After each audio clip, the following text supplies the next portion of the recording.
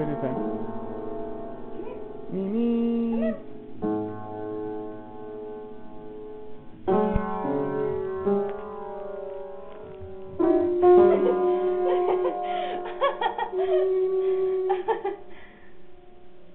Take a picture of this.